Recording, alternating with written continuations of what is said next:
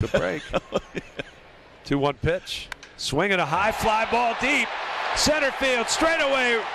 Reynolds out of room. It is gone.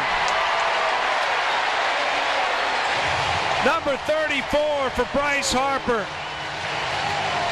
Solo shot, and it's 2 0 Phillies. Dead center into the batter's eye. And Harper teed off on that one.